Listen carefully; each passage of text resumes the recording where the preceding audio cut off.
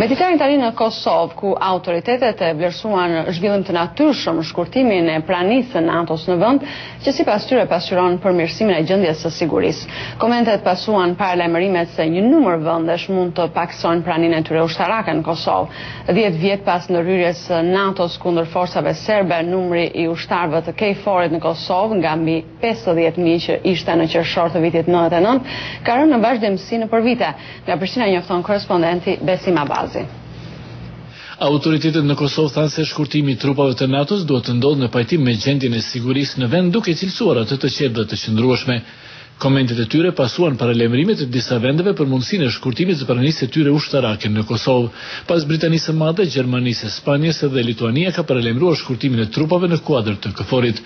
Në të gjitha paralajmërimet e deritashme për shkurtim të mundshëm, thuhet se kjo pasqyron rrethanat e ndryshuara në Kosovë posaçërisht përmirësimin e gjendjes së sigurisë. Një vlerësim të tillë e kanë bërë edhe udhëheqësit e Kosovës. Për ne është me rëndësi se ne do të vazhdojmë me proceset tona të zhvillimeve të mira në Kosovë dhe natyrisht është shumë me rëndësi se paqja dhe stabiliteti është mbizotëruese në Kosovë. Ju e dini në Kosovë menjëherë pas luftës kanë ardhur rreth pesëdhjetë mijë trupa, ndërsa sot Kosova është shtet i pavarur, sovran dhe demokratik, ka rend e qetësi, ka stabilitet, ka bashkëpunim rajonal, ka perspektivë euroatlantike, prandaj është krejt normale një reduktim i i i I mjaftueshëm, por në të njëjtën kohë edhe i menaxhueshëm. Aktualisht mbi katërmbëdhjetë mijë ushtarë të KFOR-it nga tridhjetë e tre vende të ndryshme të botës kujdesen për sigurinë në Kosovë së bashku me afro dhjetë mijë policë vendas e ndërkombëtarë. NATO-ja është duke stërvitur dhe Forcën e Sigurisë së Kosovës e cila do të ketë dy mijë e pesëqind pjesëtarë të armatosur lehtë dhe tetëqind pjesëtarë rezervë. Themelimi i kësaj force kundërshtohet ashpër nga Beogradi, i cili u ka bërë thirrje dhe pjesëtarëve të komunitetit serb që të mos bëhen pjesë e kësaj force.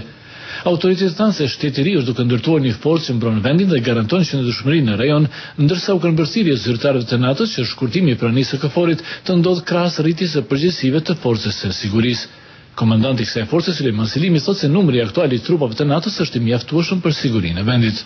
Ne e dimë se ende kapacitetet FSK-ja nuk i ka dhe është duke u përgatit, por besoj që është gjendja që është gjendje e mirë dhe besoj që ky ka ky numër është i mjaftueshëm për ruajtjen e paqes dhe sigurisë.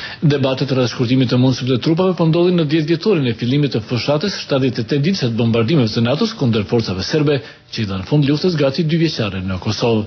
Për Zërin e Amerikës, Besim Abazi, Prishtinë.